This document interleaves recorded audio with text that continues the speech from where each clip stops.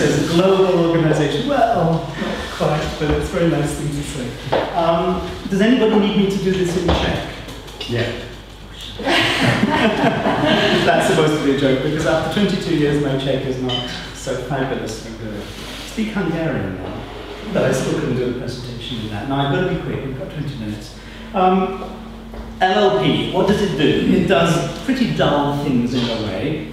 Uh, we That. We sell, we develop, we configure and support business software. That is fascinating things, fascinating for me at least, maybe for some of you. Accounting systems. I'm not an accountant, not a trained accountant, so I didn't begin my life in a dull kind of way. Hope I'm not offending anyone. But accounting, manufacturing, distribution, these kinds of things. Package software that we bring in from other countries, from Microsoft, from Infor, an American company, which we adapt, we add to, and we sell in this market and elsewhere. Um, product sales amount only to about 15% of our business. It was probably a higher proportion before, but you know the way the IT world is going, it's more and more about services. Of course, when you sell the product, you're also selling the support, 20% a year, the support and maintenance fees that go with that. I call that services, but that mounts up over the years. Just to give you some examples, one of our first clients here was GlaxoSmithKline, and they're still, still doing huge projects for them. And what we had to do for them in the early 90s was to make sure that their Czech accounting would work, as well as their corporate accounting. And the management of all their medicines imported from their subsidiaries and stock and so on. Another example, we were involved in the production of Rama. Is that still on the market? Yes. A margarine, yes. I think of moderate quality margarine. I think you even know in Bertarelli as well, some better margarines, but I'm not a fan.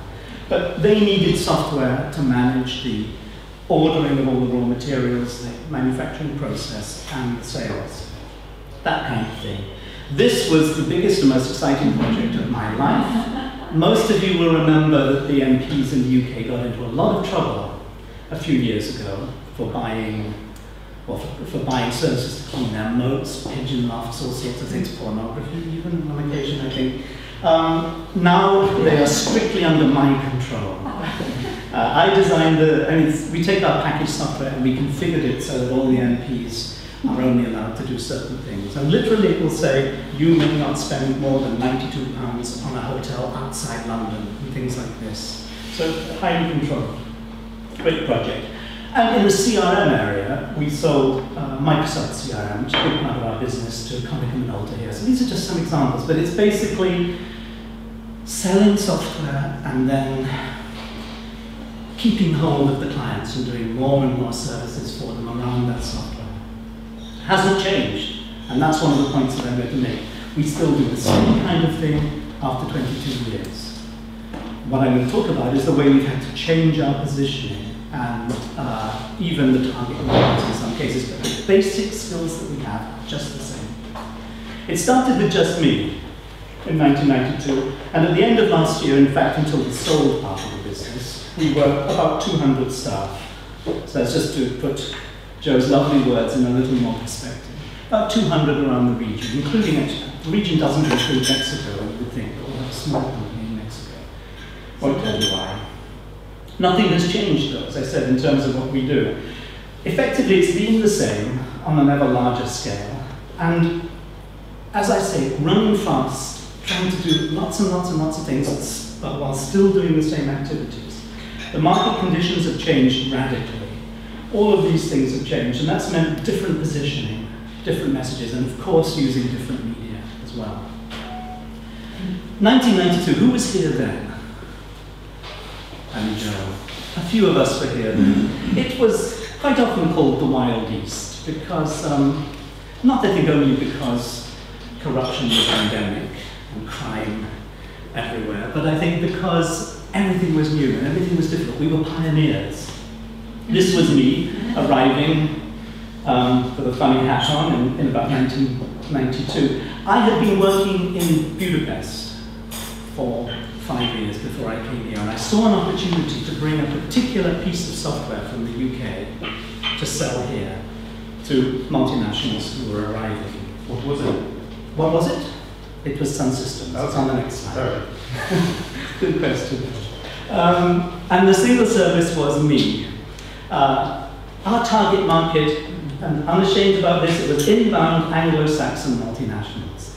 I suppose Unilever you can count as Anglo-Saxon, Smith, GlaxoSmithKline, Roche, PwC, all of these companies who needed a moderately powerful accounting system that would do local accounting safely and please those dragons who work in the accounting department, but also please the people back at headquarters who wanted to look at things from a management rather than a statutory perspective. And they wanted, they didn't want SAP in those days. Sadly, they want that now, because SAP was far too ambitious, and there weren't the skills here either to manage the huge ERP pro products that are natural for these big corporations. Most of these corporations have now moved away from Sun Systems which is sort of mid-market financial system. And I'll explain about that later, how we've had to adapt it. Sales lead times were an astonishing one to three months in those days, like. How did I get them? Well, I knocked on the doors of embassies, the big six accounting firms, eager to sell their accounting expertise, were very eager to work with companies who had suitable accounting systems for their clients. So that worked very, very well. You all remember the what's it called, Prague Business Journal, the Prague Post, all those places um, which advertise bars where expatriates congregated, also good places to advertise international software. Seminars, PR activities, all the usual things in the 1990s. Um, one product, one, ser one service. And we pitched it as being Western. That was not a negative thing in those days. It may not be a negative thing now, but it's not necessarily a positive thing. The fact that I was British was a plus. I don't think it would be now, and I don't think it should be, but it was then a plus. And we had a good track record and references, and we were still quite cheap. Even though the fee rates we charged in the early 90s are higher than the fee rates we charge now which is interesting. You know, it was such a such a good market to sell to because there were so few of us doing things reasonably well. We used the telephone, advertising, you know, all of these kinds of things. I say win working style because, you know, to wear a moderately decent suit, Marks and Spencer would do, and a decent tie, you were already ahead of the game. um, I called the company London Logic Prague. In fact, it was because I had a freelance company called London Logic before. Long story. We had clean shoes, we wore suits and ties, not like this. Um, we spoke nicely on the telephone. We would answer the phone and say, good morning, London Logic Prague. Not just, what do they say in Czech? Anybody just say, you know, just, we were nicer and more marketing aware. We were punctual, we were all these things, and it was true in a way. I think we were more than competent, Being falsely modest here. But it was true. If you were moderately good at something, you could do well in the early 90s. This was the message, in effect. You can read that for yourselves. Um, this was the message I wanted to project. And one of the ways we projected, I had to reconstruct this. I, I was looking yesterday through our archives for the advertisements that we used in the 1990s. I wrote these because um, It was fun. And these, there were some nice graphics behind it, but this is what we wanted to communicate. You know, people coming out here were brave. They needed reassurance. They needed more than just two or three sandwiches or whatever. Um, so that was what we were marketing to, fear in a way. Isn't that one of the things that marketing is supposed to depend on? So what, are, what are they? Fear and humour and all those things. I'm, I'm no marketing specialist, but that was the way we projected ourselves, a reassuring presence in a difficult place. Did we differentiate? No. I don't think we did, except perhaps with the suits. Um, and there was almost no competition, so that didn't matter. Looking at it in retrospect, which is convenient, um, the market demand was great, the competition was almost not there, and our message was very clear about what we wanted to be and what we wanted to do. Then, things got things changed in, in the 2000s, I think. You're familiar with this. Isn't this something that Václav Klaus said? That all of these Westerners were coming here and they were offering soft advice for hard money. and it's typical sort of thing that he would say, but it was true in a way. We all, those of us who were here then, the, the big consulting firms, they were producing massive feasibility studies and so on, you know, charging millions. They actually do not very much, really. Um, so, you know, confidence and skills were growing here. There was a proper growing distrust of, of, of Western advisors. Our market, our, these Anglo-Saxon inbound multinationals, they had already arrived by then, and they're already beginning to think, well, perhaps now it's time to move to SAP and Oracle, these bigger level systems. So it got, it got more difficult, and the sales lead time stretched, and we found ourselves trying to serve different kinds of company. So this was more difficult for us, and inevitably, and quite rightly, we focused more on our existing customers, and they took us during these years into other countries. That's why we grew, because example, Kraft Jacob, Suchard, or Glaxo, they wanted the same people even to do their implementations in Romania, Bulgaria, Hungary, and all those places. So we followed them there. But we had to change our messages a bit. Um, we were now these things. And I dropped the London logic because that was no longer appealing in any way. So we're just LLP now. Nobody asks what it stands for. And when they do, I say, I've forgotten. I have to, I say it's London Logic Partners. Actually, we had one difficulty early on because we extended to Bratislava. So then I thought, well, that's London Logic Bratislava. And then we went to Budapest, and London Logic Budapest, and then Bucharest. And we had three, three LLBs and one LLP. It just didn't make any sense. So we dropped all of that. But it was also because it was no longer special to be foreign. And that's how it should be. And we had to start targeting local people, so I had to do less of the talking. Um, we had to have very good, very competent local managers who could talk to the local financial directors. The market had changed in a way. High end was SAP and Oracle by then, everybody wanted that, and there are lots of very competent low-end software producers. We pitched ourselves as mid-market, value for money for international solutions. And we had the, this slogan or what you call them, strap lines. Um, positioning ourselves there, but I don't think it was good enough in fact. Our differentiation was supposedly that we were regional, some specialist knowledge, still good prices, but we had, I think, in a way, slightly lost our target because we were trying then, I think, to be too many things to too many people. The beginning, our market was very, very clear, and then that market sort of disappeared a bit. And then we, instead of specializing as we should have done on particular niches, we started to try to offer our services in a very generic way. We were still, this is one of our advertisements from this period, we were still, to some extent, trading on fear. But we also talk here about differentiation. It's, I think, looking back, that's just about okay. This, I think, is pathetic in looking back. This is one of our advertisements. It's such a cliche you know, this is what people were doing then. I don't know what it says. We share a common vision of the future. It doesn't say anything really. It doesn't say what we do. I think you'd be hard pressed to have any idea about what we do from the advertisement This was funny. But what's wrong with this, I think in retrospect, uh, it still, it doesn't say anything about differentiation. It just says we're a generic IT company and uh, people who've screwed things up, we can come and make it better. But in what specific areas? Not bad, but it's not clear enough about where it is that we're trying to sell, to whom we're going to sell, and what our messages are.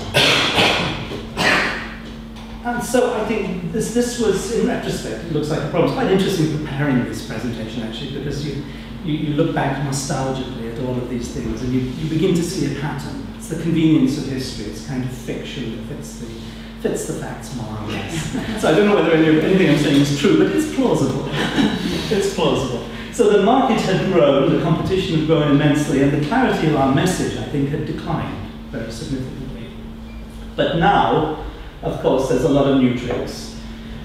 Emerging Europe has emerged, has it not? Still not sure about Romania and Bulgaria, but I think for most of Central Europe, I think we can say it's properly emerged. And all the buyers are local now. I think the number of expatriates um, living in this country is far fewer than in the 90s, probably, although some of us are still here. Um, and there's an intolerance of people like me who are lazy with their languages, or as I say, just speak a bit of Hungarian, and need to get more and more sophisticated. Um, and of course, the media have changed enormously. There's all these things about which I knew far too little some time ago. I'm spending a lot of time on this kind of thing. All of these things are important. We've even produced an app that goes with our expense system, which is partly designed just to get the, as a marketing device, just to get people aware of our uh, software through seeing it on the, on the um, App Store. You know, we're not expecting to make money out of that app, but it's a way of getting um, people to know about us, really.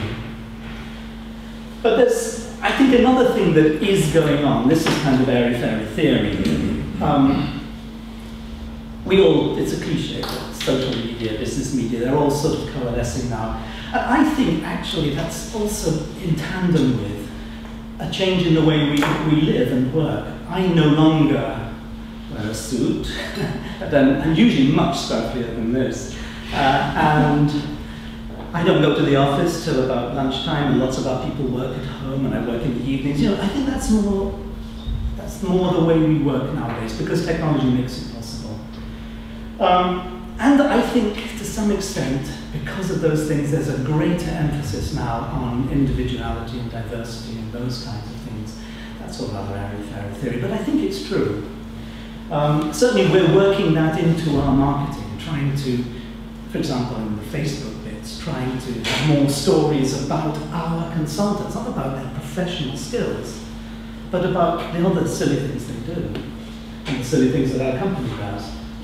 So I think it's, it's changing and communication has to be different in these different channels. So for example, this is, not, this is about to go up on our Facebook site.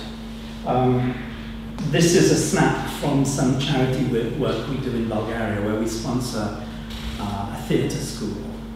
Um, but it's obviously not a hard business image. Perhaps one could criticize it in the same way as I criticized our earlier, one of our advertisements by saying it doesn't tell tell people what we do. But I think on Facebook that doesn't matter so much. Facebook, I think, is for people who already know about our professional stuff, and they go onto Facebook maybe for some more informal things. This is one of our professional um, um, websites, and that's, you know, it's much clearer, much higher, much less material than in the past, so they're becoming more succinct. Now we are, in fact, three companies, each with a very different market. LLP Group still sells Sun Systems and it concentrates on selling international consulting implementation services. Then we have LLP CRM, which concentrates entirely on the Czech market at the moment and does LRP CRM. So very, very different markets and there's different messages for both. And then a third part is our software author uh, company, Systems at Work, which built the expense system for MPs, It's very much an uh, intellectual property-oriented company, and its messages are very different. It's about particular, very clear niche market.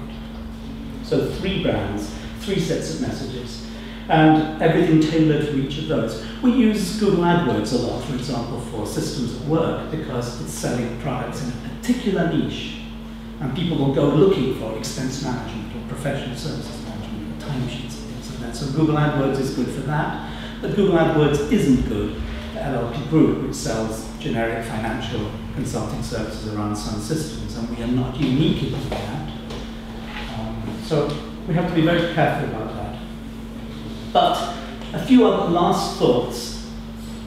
I don't think this has changed. I have very strong views about how know-how kinds of companies should be marketed. And I think this is true. I don't think many of you are also in know-how marketing. Um, I hate cliches. When I read people, things that say, we put our customers first, I want to vomit. um, because it's just such a cliche. And you look at websites, you know, we're special because we put our customers first. Well, if you don't put your customers first, anyway, just saying it tells you nothing. And, you know, we're the best, we're the biggest, we're the cheapest. I wouldn't say cheapest, but all those things. Like, I am a stickler maybe no longer for wearing suits, but I'm a stickler for good grammatical sentences. Um, and I insist, I, I, don't mind if a website uses American spellings as long as they do it con consistently. And so I'm an absolute stickler. I go over the text and I say, if you want English, English website, it must be consistent. Because these things display uh, intelligence. They don't say we're clever, but they display it through good writing. Um, and I don't believe in you know making false claims or outrageous claims about competition. I think we need to demonstrate the values behind the company through what the company does and through the way it projects itself, not say it. Also, very important to do these to direct these messages internally. I think, especially in a know-how, people or in services-oriented company where people are out there trying to impress customers they've got to have understood your values and be able to present them well themselves. So a lot of what we do is training our employees also to understand what we're trying to do. Um, so now I think the market is ever bigger, the competition is still there, fiercely so, but I think our message is very much clearer. We know to whom we're selling in each sector and we know what the messages are and hopefully we're selling them well enough through all of those different media. And this is the convenience of looking back and applying a pattern to the facts in history. It was true that we were tremendously profitable in the 1990s with these tremendously high fee rates. The 2000s, we, we were, com- well, not even quite comfortably profitable, we were profitable. And now we're profitable again. And I, maybe it's something to do with this clear differentiation. Because through differentiation, you can always achieve higher fee rates and higher prices. If you're generic, you're competing with everybody. Of course, there's fashion too. You will have seen different logos. This is something you have to keep up with as well. You know, fashions in websites change, fashions in logos and straplines change. We're in the middle of transitioning to the last one, which I think is nice. Nobody. Last time you wanted the left The one, no, the one, this one. That was how we started. Do you think the first one's better? Yeah, I, I like it very much. Oh, no. but yeah, I mean, you know, it's retro lines again. You know, You like things the are coming back. It's like with this with fashion, with, you know, things come back again now. You like flared trousers and you like suit. Yeah, you see with logos, I think a lot, a lot of companies in consumer products go back to logos from the uh, 50s and 60s again, at least in their marketing, not always in their Yes. products, but in their websites and Well, that's interesting. Maybe they're kind of trying to reinforce old-fashioned values and so on, mm-hmm. like Hovis and those sorts of things. They still have pictures from the 1950s of people enjoying Hovis loving bread. I'm not sure that it would work in IT though, because in IT you're always supposed to be ahead, aren't you? I don't think nostalgia is ever right in IT, because otherwise we'd be Yeah. with hideous old IBM machines and so on. Anyway, I sent this out for people in the company to, to adjudicate.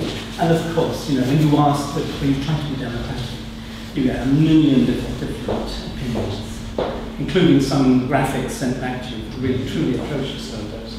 So, you can never get it right, but you have to keep changing. So that was why I said running faster, stay still. You know, we're like, um, like the Red Queen. You, you, you may be doing exactly the same thing for 22 years, but you've got to do it differently all the time and be aware of the shifting market, the shifting media, all those things. So that's what I mean by that. That's me done. Oh, I'm four minutes over, sorry. Any questions? No, I have questions later.